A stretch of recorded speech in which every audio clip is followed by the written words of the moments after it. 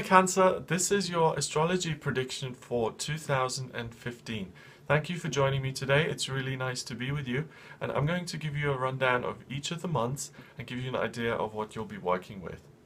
You start January uh, full blast and the focus for you is going to be very much on relationships. Specifically, relationships and how those become family relationships. So you're looking at solidifying the connections you have with people in your life at this time of the year. You're also looking at um, possibly strengthening some of your working relationships and seeing how they can benefit you. But there's a real focus on how can I bring things together? How can I build more structure in my life with the people that are around me?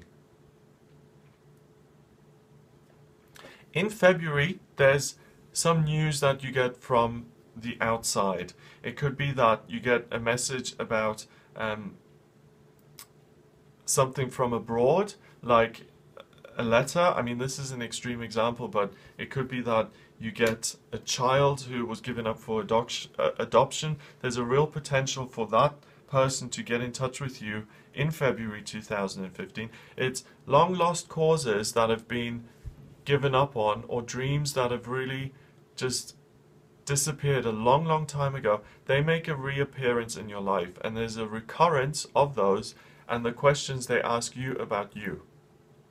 What does this communication, what does this information say about you? So for instance, if that child comes back after 20 years, what questions are you going to have to ask yourself? And it could be any example, but really the theme's the same information causes you to question who you are as a person and how you're going about your life. So it's quite introspective in February and really makes you ask the kind of bigger, larger questions.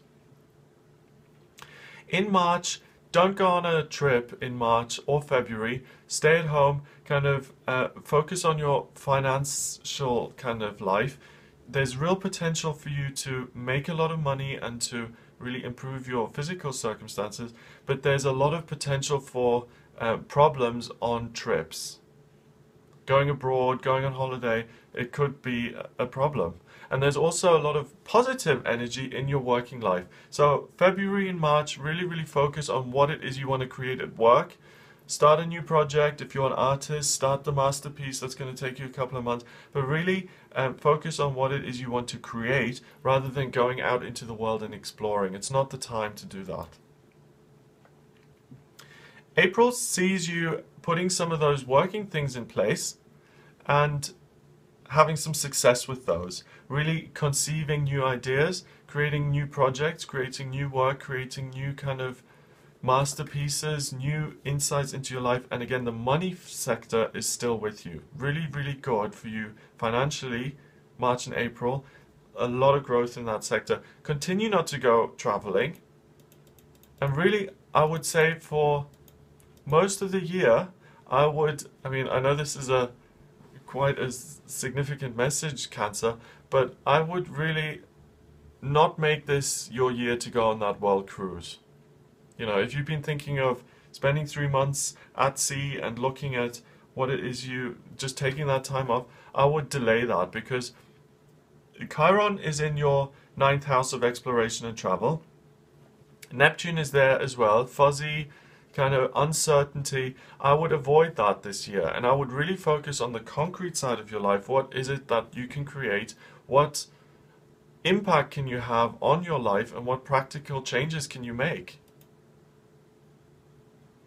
May is wonderful because you actually put these things into practice now. You have had the idea the beginning of the year, so winter and spring, kind of looked around. You realized what your hopes and dreams were, what you wanted to achieve in a practical sense.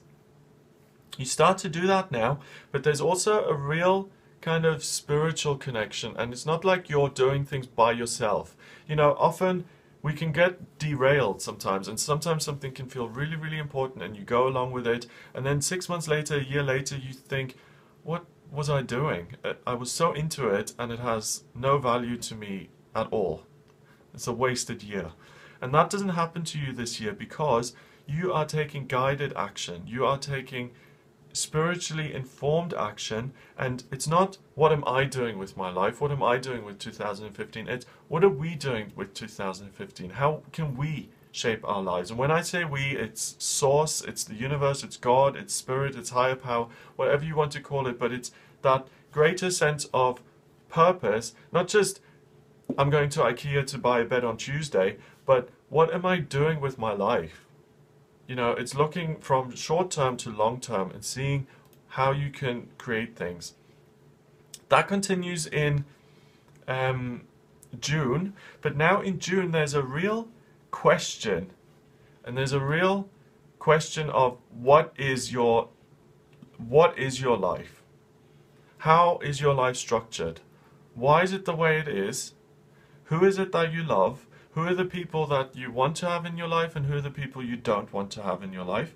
What is it that you love and what's worth it and what isn't it uh, what isn't worth it? It's really the big questions, you know, and this May and June are really very very introspective months for you where you're really asking big question big questions that will have a huge impact on your relationships by the time July comes around that will really make you sensitive to who you are as a person and how you see yourself and how you see your family and where you want it to go.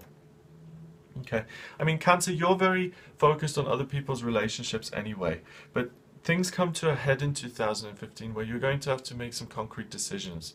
If you've been with a partner for five years who's consistently um, not done anything about their alcoholism and who continues to make promises and who you love very dearly, but you can see there are no changes and there are no kind of inroads being made, ask yourself the question I love this person, this person hurts me, is this worth it? Am I committed? Am I not committed? And no one's going to tell you what the answer is, but those are the kind of themes that really come together and really force you to, to ask those questions. Now, August and September, those two months of the summer particularly are wonderful for you really really wonderful. And i really do say this having looked at these signs cancer that you are the sign of the zodiac who's going to have the best month financially best two months in august and september of 2015 there's real scope for you to make a lot of money to have a lot of success in the summer months so if you're a screenwriter, get that blockbuster into the studio so they can publish it. You know, that's at the top end of the scale. But if you're, um, you know, a, a sole business or a, a person who's self-employed, make those pamphlets or write that um, workshop or those lessons and then put them on because you will have a lot of success in the summertime. And not just success in a social way, but in a in a financial way as well. September that continues, and the more unique it is, the better it will be for you. So don't say, oh, everyone else is doing lessons on crystal healing, so I will do lessons on crystal healing. Don't do that. If you're interested in, you know, channeling alien number five from Andromeda Galaxy, then if that's your reality and your truth, then please do that. No matter how far out and weird it may seem to other people. Okay. That shift that that focus continues into October. But now in October something impedes your the way you communicate. So it could be that even if you stay home or even if you do go traveling, that the main problem or the main kind of issue now um, you're going to have to deal with. So it could be that a relative or something, um, you know, I don't know, a volcano in Iceland erupts again and they can't get home, and you have to then communicate and deal with it to get them home, or it could be that you're out there yourself and you have problems doing that. That's the theme. Some sort of issue with another person in terms of traveling, and then you have to spend a lot of time talking through it and getting it sorted out. Okay, November is really a good time for you now to focus on romance. And it's really the first time this year that I see major good potential for romance for you in 2015. So, you know, some years are very romantic. This year for you is very financially um, conducive and also very conducive in terms of the communication. This month is good for romance and also to, again, write and to be communicative and to um, yeah, either communicate with people on a one-to-one basis, face-to-face, or to actually write something down and then to bring it out into the world and take it to people in a more abstract way. And then finally, you end the year with really some major changes to your daily routine and your daily life and really realizing some dreams um, healing hurts from the past and if you're single then I really see that by the time November December comes around there's real possibility for you to enter a long-term solid relationship and if you're married or if you're already in a long-term partnership to really heal some of those past issues to really start to work together again to be on the same page and to um, start to have a dream as a couple rather than as a single individual Really good. So that's what I see for you in 2005 Cancer. It looks like a very um, productive and very um, insightful year for you. If you'd like a personal reading, so this is for Cancer, but if you'd like a reading specifically for your um, natal chart, which will make it more specific to you, really, and narrow it down even further, then please get in touch via my website. It's gregoryscott.com. You can send me an email. The address is readings at gregoryscott.co.uk. And please remember to subscribe to this channel for future updates. Have a wonderful 2015 and I will speak to you soon.